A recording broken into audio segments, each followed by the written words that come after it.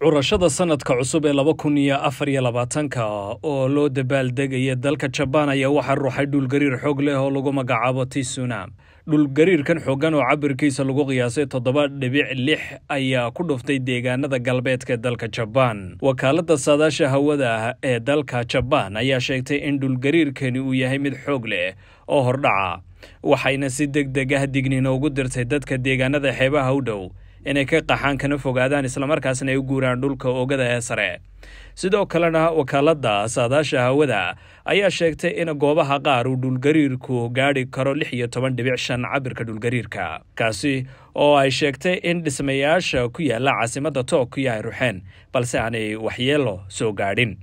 Dadka qaar ayaa soo duubaya muuqaalo muujinaya in guryaha goobaha laga raaco tareenada iyo dhismayaasha dhaadheer oo ruxmay taasi oo qaybka dhulgariirka waxaana la arkaya gooba aan badnayn oo waxyeelo uu gaadhsiiyey dhismayaasha halka dhulalka qaarna lagu arkay dildilaac yaryar.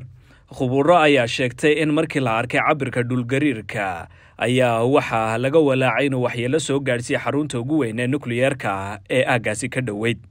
Balse ay tilmaameen inaanay waxyeelo soo gaadhin. Wakaaladda saadaasha hawada ee kuuriyada koonfureed ayaa iyaduna dhankeeda sheegtay in laga yaabo in heerka badda qaybo ka mid a gobolka wangon ee xeebta bari uu sare u kici doono. Dalka jabaan ayaa ka mid a waddamada adduunka ugu khatarta badan marka loo eegay masiibooyinka dhulgariirka. Xamse xayd c b a t v.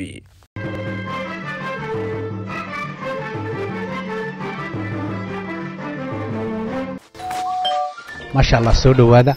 La jaanqaad shirkadda telesom maxmil waxay kuu diyaarisay adeegga internetka ay faibar optiga kaasoo xawaarihiisu kala go' lahayn waa guji waa ishaa biligteeda. Intuu soo gudlanayo hadalba gam. Hagarla'ii ku isticmaal sochial midiyaha kuna daawo wararka cayaaraha iyo onlaine geemiska haddaba maxmil soo gasho gurigaaga xafiiskaaga iyo goobtaada shaqo. Fadlan nagala soo xidhiidh nambarka gaaban